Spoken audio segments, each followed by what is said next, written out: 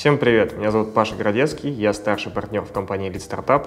Переходите по ссылкам и подписывайтесь на наш канал. А в этом видео я хотел поговорить с вами о такой, возможно, базовой, но очень популярной теме, как различие между скрамом и канбаном. Этот вопрос на самом деле очень популярен, и если посмотреть англоязычные источники, например, зарубежные YouTube-каналы, то скрам и канбан очень часто сравниваются как взаимозаменяемые системы, которые имеют некоторые отличия. Согласно этим источникам, и Scrum, и Kanban являются близкими и взаимозаменяемыми фреймворками, которые имеют несколько принципиальных отличий в реализации. В случае со Scrum это организация работы через спринты, обычно это двухнедельные спринты, внутри которых команда разработки занимается только выбранными приоритетными задачами именно под этот спринт и не берет ничего лишнего. Все то, что появляется в процессе спринта, ждет своей очереди до следующего спринта. В конце спринта все, что готово по результатам, упаковывается в релиз, все, что нет, возвращается в бэклог.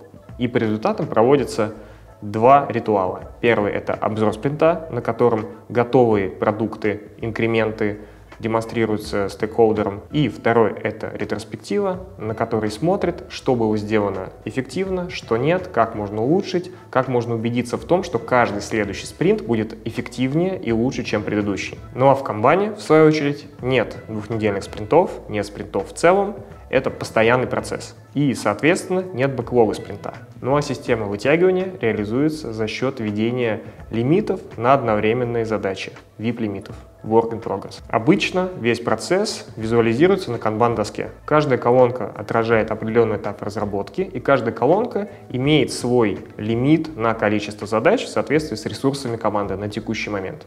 Чем меньше лимит, тем лучше тем более прозрачный и быстрый процесс. Когда освобождается ресурс и освобождается место в колонке, соответственно, задача из предыдущих этапов вытягивается на следующий этап. Ключевые ритуалы внутри канбана похожи на ритуалы в скраме, только немного по-другому называются. Но так ли это на самом деле? Действительно ли Scrum и Kanban — это близкие друг другу, взаимозаменяемые фреймворки разработки программного обеспечения? На самом деле нет, потому что Scrum — это один из фреймворков цикличной разработки продукта, а Kanban — это метод улучшения качества сервиса, в том числе, возможно, как раз внутри Scrum процесса.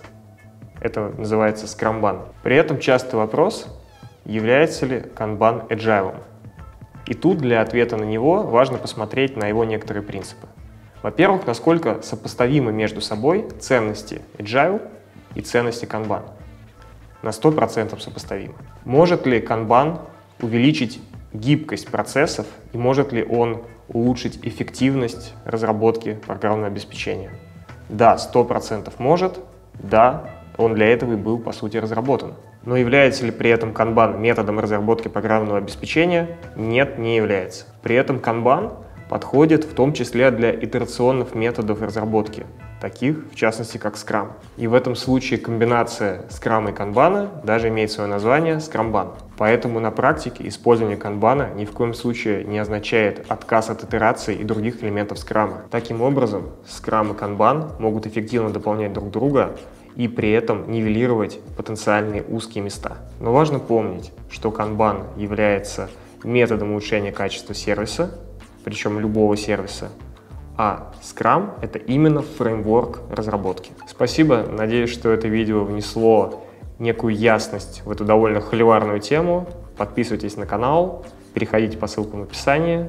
У нас всегда много свежей, интересной и актуальной информации. И всем пока!